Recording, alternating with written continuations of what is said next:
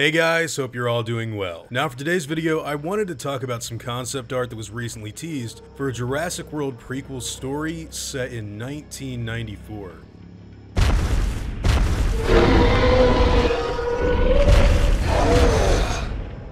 So just yesterday, Yaroslav Kuzmina posted this teaser image up on his Instagram account. The image shows a group of InGen soldiers caught in the middle of some kind of altercation between two giant animals, one of them being the Tyrannosaur, while the other remains just off frame to the right side of the image. The art in question comes complete with a Chapter 12 moniker printed over top and the words Jurassic World Regenesis written at the bottom. In case some of you didn't know already, Yaroslav is an artist that has worked extensively on Jurassic before in the past, specifically in a canon sense with the Dinosaur Protection Group and Extinction Now properties made to tie in to Jurassic World Fallen Kingdom. Now, before we go any further, I think I need to make it clear that this project is not a live action movie. Originally, it was envisioned as an interactive motion comic that would come complete with accompanying CGI shorts. This CGI, by the way, was of a very high grade, and some of it was even completed before the first iteration of this prequel was unfortunately cancelled. You see, Jurassic World Regenesis was at one point in time a pitch slash proof and concept made to Universal after the first Jurassic World came out.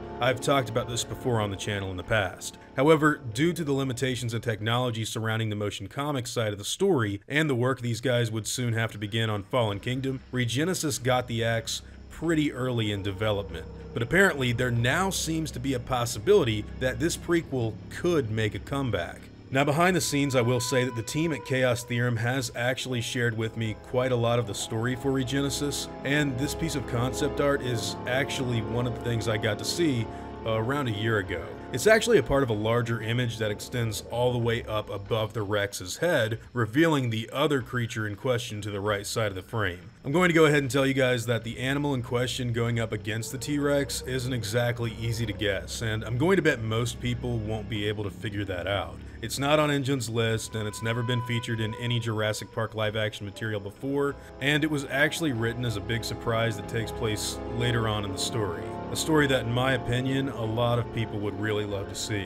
Now, if interest in this prequel can be visibly seen on the internet, I've been told that this story may actually have a chance at revival and ideally get placed within canon as the story that takes place directly after the events of the original movie, which would eventually lead into The Lost World. Regenesis would follow Dr. Henry Wu as its main protagonist and detail the 1994 cleanup on Isla Nublar. The story would introduce and lay the groundwork for a lot of concepts and dinosaur details that we see featured later on in the sequels. And as such, production on this probably wouldn't start back up until Jurassic World Dominion has been released to the public and the current trilogy of films finish telling their own story. I think in the modern day, Regenesis probably wouldn't be told as a motion comic either. I've personally recommended either a graphic novel or some kind of CGI short film work that could help make it both visually pleasing as well as less complex. Maybe even a combination of both ideas to make it really cool. From what I saw of the actual rough storyboards and concept art that this prequel would have gone over, I legitimately believe that this would be a story fans everywhere would seriously love and get behind 100%. It's got a ton of stuff that people have said they've wanted to see in a Jurassic project for years, and it's pretty damn inventive in a lot of ways too.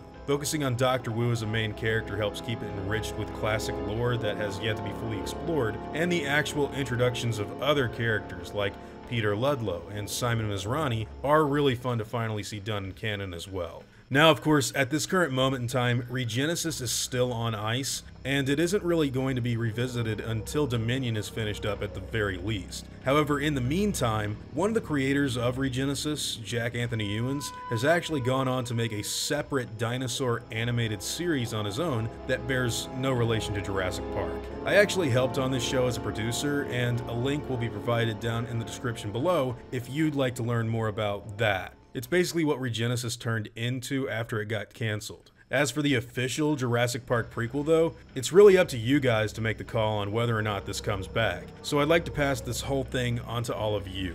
Would you like to see the 1994 cleanup of Isla Nublar told as a prequel sometime down the line? Would you like to see it as a CGI project, a graphic novel, standard book form, or something else? What are your thoughts on this project, and would you be interested in seeing it explored in the future? If you are interested, I'd love to hear about it and why.